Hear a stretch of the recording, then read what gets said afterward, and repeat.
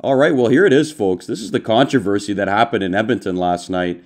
Uh, Leon Draisaitl appears to win this for the Edmonton Oilers in overtime last night, but then all of a sudden, the referees get a call from the Situation Room saying the league is looking into this, and they ruled that Connor McDavid enters the zone offside.